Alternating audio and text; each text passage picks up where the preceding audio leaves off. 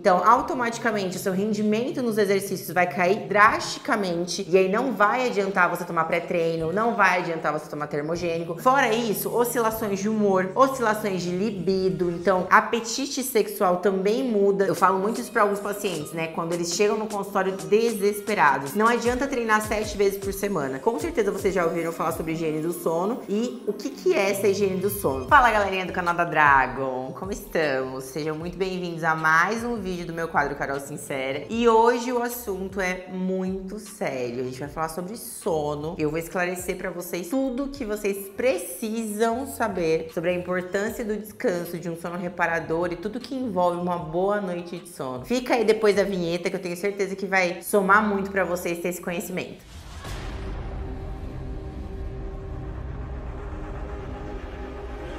Bom, galera, é o seguinte, nesse vídeo eu quero esclarecer algumas coisas para vocês, além de passar o conhecimento que é necessário que vocês tenham para que vocês realmente deem importância que o sono precisa. A primeira coisa que eu quero que vocês reflitam aí é se você passa uma noite de sono bem dormida ou não, de acordo com a sua percepção. E depois no final do vídeo, depois que você escutar tudo que você vai ouvir aqui a respeito de qualidade, horas de sono, sono profundo, sono reparador, sono de recuperação muscular, enfim. Depois, no finalzinho do vídeo, eu quero que você reavalie o seu sono. E aí tem essa mensuração do quanto ele realmente precisa melhorar e o quanto você está disposto a dar essa atenção para que tudo na sua vida melhore. Por incrível que pareça, a gente, né, vem vivendo uma fase que as pessoas cobram muito, independente de qual profissão seja, de qual público a gente esteja falando, né, sobre produção, sobre ser às vezes hiperprodutivos, né, dormir pouco, trabalhar muito. Quando eu era um pouquinho mais nova, tô me sentindo velha falando isso. Eu escutava muito aquela frase do trabalho enquanto os outros dormem, enfim. E hoje em dia a gente sabe cada vez mais que isso não é nem um pouco saudável. E com os atendimentos em consultório, a gente entende quantas pessoas não entendem a importância de uma noite de sono bem dormida, que você acorde descansado. E aí, galera, é assim: acordar com aquela vontadezinha de dormir mais, todo mundo vai acordar, entendeu? Todo mundo dormiria mais horas, todo mundo ficaria enrolando na cama. A questão é entender o quanto seu corpo está literalmente descansado e preparado para um novo dia, para cumprir novas atividades no seu trabalho, para cumprir uma nova sessão de treino e assim por diante. O que eu quero que vocês entendam? A gente tem sete dias na semana, então é óbvio que ninguém vai dormir bem todas as noites daqui em diante. Mas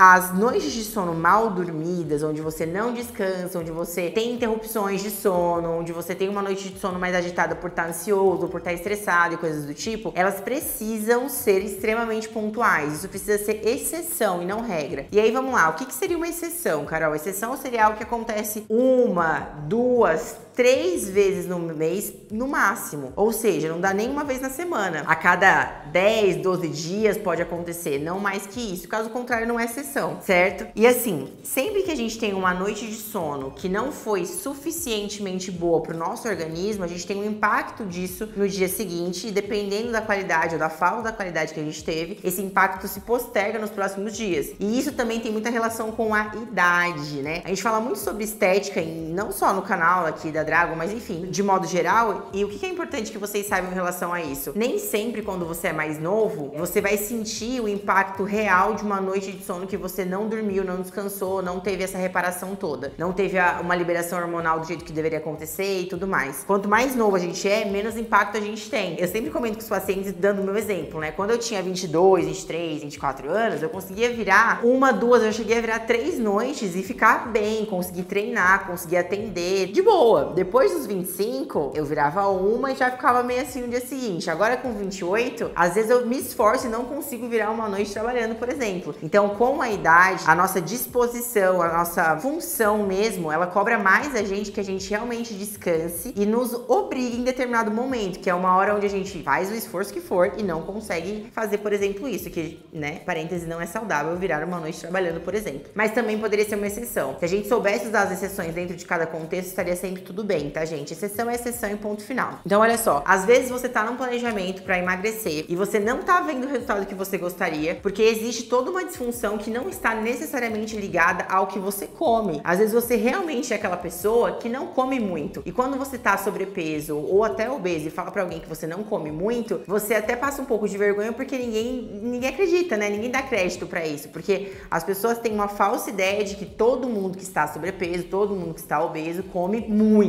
come compulsivamente, come exageradamente. E nem sempre, isso não é uma regra, isso não é via de regra. Então o que acontece? Vamos pensar numa pessoa que tem um sono muito ruim, ou porque ela é extremamente ansiosa, estressada, o contexto de vida dela, da casa dela, não ajuda ela a descansar mesmo, a desligar, a resetar, sabe, pro dia seguinte, ou porque ela tem várias interrupções durante o sono, então ela tem um sono muito leve, qualquer barulhinho ela acorda, levanta muito, aí levanta para tomar água, perde sono, levanta para fazer xixi, perde sono, levanta, vai olhar no celular se tem mensagem, perde o sono, enfim, vamos pensar assim agora, independente de qual seja o motivo que não te permite ter uma noite de sono legal, pelo menos dentro do que seria o ideal aí. Isso vai repercutir no seu apetite, que vai ficar desregulado. Isso vai repercutir na sua disposição. Então, automaticamente, o seu rendimento nos exercícios vai cair drasticamente. E aí não vai adiantar você tomar pré-treino, não vai adiantar você tomar termogênico, porque o que você precisa não é de estimulante para dar conta. Você precisa recuperar o seu organismo para que ele consiga fazer o que você tá mandando, que o cérebro tá comandando ele fazer, né? O que o cérebro tá mandando ele fazer. Então, às vezes você tá até usando algum estimulante para tentar te dar aquele gás, enquanto na verdade você não precisa de mais energia, você precisa de recuperação. E são coisas completamente diferentes. Fora isso, oscilações de humor, oscilações de libido, então apetite sexual também muda se, so, se você não tiver noites de sono muito bem dormidas e não unicamente, mas basicamente durante o sono REM, que é o sono profundo e o sono que é literalmente reparador, a gente tem o estímulo da produção de hormônios que são bons e necessários para todos todos os lados, para todas as coisas, desde sensação de bem-estar, de prazer, de disposição, equilíbrio de humor, equilíbrio de apetite, regeneração celular, regeneração muscular, enfim, gente, tudo que é bom acontece e se regula durante o sono, não durante o dia, não enquanto a gente está acordado cumprindo com as nossas coisas. Então, se isso acontece de uma forma muito recorrente, você automaticamente coloca o seu organismo num cenário de disfunção, porque ele nunca se recupera, ele nunca se regenera, ele nunca se regula, ele nunca entra em estado de equilíbrio. Então, se você tá me escutando, tá se identificando com alguma dessas coisas, poxa, Carol, eu sou uma pessoa que eu sempre me esforço muito, ir pra academia para mim é difícil, eu não sou aquela pessoa que ama exercício, ou qualquer outro esporte que seja, eu já tenho dificuldade nesse movimento de ir, e quando eu chego lá não tenho muita força, e aí eu falo às vezes com um profissional que tá me ajudando com a alimentação e ele fala que ele não pode aumentar minha dieta, eu não posso comer mais para ter mais energia, eu tomo um suplemento e não vejo o resultado que falam. Eu já escutei muito isso de pacientes, por exemplo, tomar um pré-treino e não sentir essa diferença toda no treino, tomar um termogênico e não sentir essa diferença no card, no treino também. Às vezes o que você precisa é de descanso.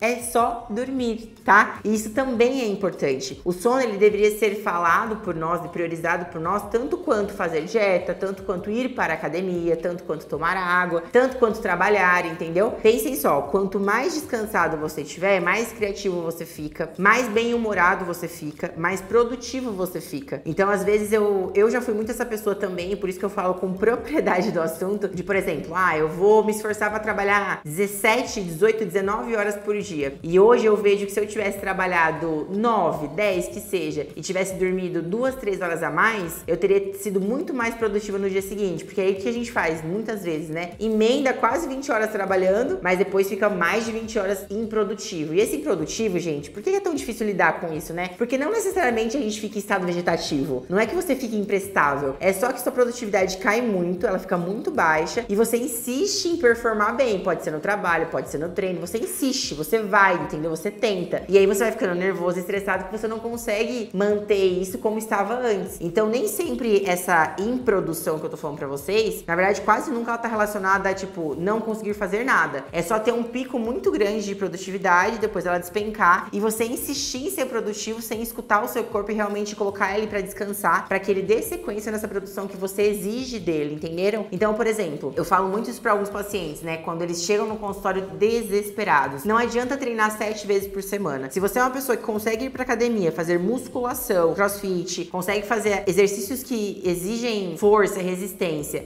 sete vezes por semana, você tá pegando muito leve, você tá fazendo de qualquer jeito, você não tá levando a sério, porque o corpo precisa se recuperar. O aeróbico, não. O aeróbico a gente consegue fazer sete vezes por semana, a gente consegue fazer duas vezes por dia, mas exercícios resistidos, que são exercícios de força, se você consegue fazer sete dias seguidos, dez dias seguidos, já peguei paciente veio todo orgulhoso falar, ai, fazem 30 dias que eu vou pra academia sem errar, fazer musculação e aeróbico. Poxa, eu sei que eles esperavam parabéns, mas tem algo errado, entenderam? Porque o corpo precisa dessa recuperação, ele precisa dessa pausa, desse descanso para que depois, no dia seguinte, na sessão seguinte de exercício, ele performe cada vez melhor. E isso não tem a ver com aeróbico, tá? Então, o que, seria indicado e eu vou passar essa informação aqui para vocês, mesmo não sendo minha área, porque por mais que eu não seja educadora física, eu trabalho com a nutrição esportiva de modo geral. Exercício resistido, 5, 6 vezes por semana. Exercício cardiovascular pode ser feito 7 vezes por semana e não precisa necessariamente de um descanso, tá? Sempre que você tiver dificuldade, que eu também já fui essa pessoa de tipo, ai, mas eu gostaria de ir pra academia 7 vezes por semana porque eu gosto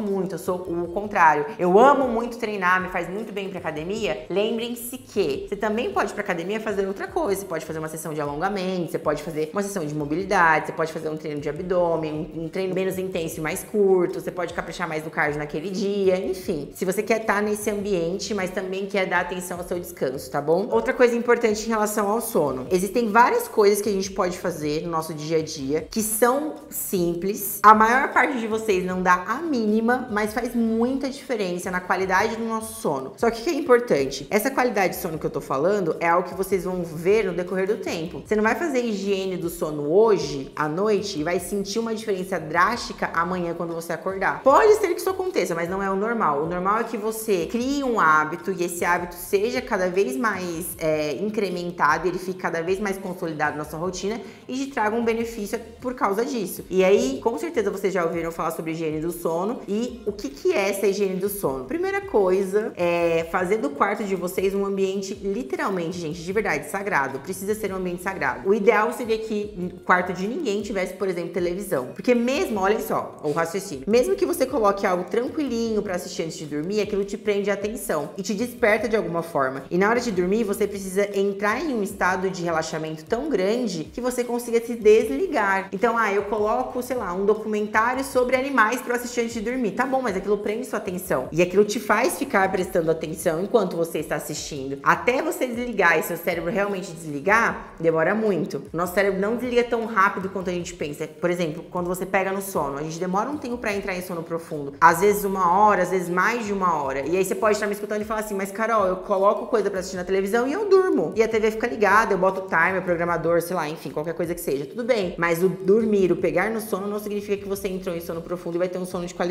Não significa que você, por ter dormido com a TV ligada, vai acordar no dia seguinte e vai estar super bem, super descansado e tudo mais. Evitem tudo que for eletrônico dentro do quarto de vocês. Eu, eu vim de uma criação que meu pai sempre falou a vida inteira que TV foi feita para ficar na sala e não no quarto. E eu nunca tive TV no quarto, isso sempre me ajudou muito. Outra coisa é a questão do celular, assim. Se você realmente tem um emprego, por exemplo, eu atendo médicos intensivistas, eles trabalham com urgência e emergência. Eles não podem, né, deixar o celular, por exemplo, para tocar no banheiro, despertar no banheiro e ir pro quarto dormir. Então existem exceções. Ainda assim, o que a gente faz? Pede para colocar uma luz noturna, uma luz amarela, diminuir esse, essa exposição à luz branca, porque isso também mantém a gente em estado de alerta, isso também prejudica a nossa indução de sono. E as luzes da sua casa também. O ideal, gente, seria que a casa de todo mundo tivesse luz branca e amarela. A luz branca, ela dá essa despertada, então às vezes você precisa dar uma acordada para trabalhar. Mas na hora de ir dormir, é importante que você, se tiver exposto à luz, que seja uma luz amarela. Então, assim, hoje em dia, né, a gente até vê mais nessas casas mais novas, apartamentos mais novos, por exemplo, banheiro. Sempre tem um spotzinho de luz branca um spotzinho de luz amarela. Às vezes no quarto também. A branca tá no meio, central, e as amarelas estão em volta. Porque isso é ciência, é algo que foi cientificamente comprovado com o decorrer dos anos. Parece bobagem, parece uma coisa muito simples, mas faz uma diferença absurda, tá? Mais uma coisa que também tá nesse nicho todo aí. Chás que ajudam a você entrar em estado de relaxamento. Camomila, erva cidreira, mulungu, passiflora, cava-cava e assim por diante. São chás que você pode incrementar na sua rotina, colocar para você tomar antes de dormir, fazer uma infusão, tomar e deitar. Sabe aquela vida de milionário, sabe? Você toma um chazinho, vai deitar. Isso ajuda também. Tem outras coisas que a gente pode incrementar como leitura, meditação, yoga, alongamento. Alongamento foi uma coisa que me ajudou muito em períodos onde eu estava um pouco mais ansiosa e eu, né, por ser sempre muito agitada, como vocês sabem, sempre tive muita dificuldade, por exemplo, entrar em estado meditativo. Objetivo, fazer meditação. Sempre foi algo desafiador para mim. E aí, quando alguém me propôs, tipo, uma sessão de alongamento antes de dormir, foi incrível, porque eu precisava alongar por causa do exercício de musculação, eu precisava alongar porque eu tenho encurtamento, eu precisava alongar para poupar lesão e etc e tal, e eu poderia alongar à noite como algo que me preparasse meu corpo para relaxar e dormir. O alongamento, gente, se ele for bem feito, vai demorar aí de 20 a uma hora, de 20 minutos a uma hora, e por mais que às vezes na hora que você tá fazendo o alongamento, o músculo doa um pouquinho, o seu corpo fica um pouquinho desconfortável, depois que você termina, você realmente fica mais relaxado. Então é até uma dica minha para vocês, se você tem dificuldade de inserir alongamento na sua rotina, se você tem o tempo sempre muito apertado, já chega na academia morrendo de pressa, já tá sempre atrasado, se você nunca conseguiu colocar realmente e dar sequência na rotina de alongamento, tenta colocar antes de dormir, nem que for 15, 20 minutinhos. Você vai juntar as duas coisas, o que é necessário com o que é benéfico pro seu organismo, tipo sono, resultado estético, preventivo, tudo junto e misturado, beleza? E uma última coisa é, eu quero que vocês percebam o quanto a gente precisa tomar cuidado com a forma que a gente avalia nosso sono. A gente tem uma percepção muito errada do dormir bem ou não. E sempre que eu pergunto para um paciente, por exemplo, quantas horas você dorme? Ninguém responde certo, porque o pessoal se baseia muito na hora que deita na cama. E aí é onde eu pergunto assim, mas que horas você deita na cama? Ai, Carol, eu deito para dormir meia-noite, por exemplo. E que horas você acha que você pega no sono de verdade? E aí vai dar uma em diante. Então, na verdade, se você deitou meia-noite, mas pegou no sono uma, uma e meia, você não dormiu da meia-noite em diante, certo? Então, prestem atenção em quanto tempo vocês demoram para dormir, quanto tempo vocês demoram para se desligar mesmo e realmente conseguir dormir. Se você acorda várias vezes durante a noite ou não, o que que faz você acordar, o que que faz você despertar? E deem atenção para isso, gente, porque uma boa noite de sono bem dormida, onde você acorda descansado, faz diferença em tudo. Lembre-se, faz diferença na sua força no treino, independente se você está na fase de hipertrofia, redução de gordura, enfim. Faz diferença no seu apetite, na sua regulação de fome e vontade de comer. Faz diferença na sua disposição, na sua regulação de humor. Regula essas ondulações aí, principalmente absurda, absurdas de mulheres, né? Na hora de controlar os gatilhos de muita felicidade, muita tristeza, emoção e etc. Enfim, tem um, um milhão de coisas benéficas disponíveis em apenas em deitar e dormir, tá bom? Então é isso. O vídeo foi longo, mas eu queria muito que vocês dessem a devida importância a uma boa noite de sono. Eu espero que vocês tenham gostado. Não se esquece de deixar o seu like, curtir, compartilhar, enviar para quem você acha que precisa escutar isso e aprender um pouquinho aqui comigo. Comenta aqui embaixo o que você gostaria de ver aqui no canal, aqui no meu quadro. Ativa o sininho de notificação para você receber mensagem toda vez que entrar vídeo novo no canal e até a próxima. Obrigada.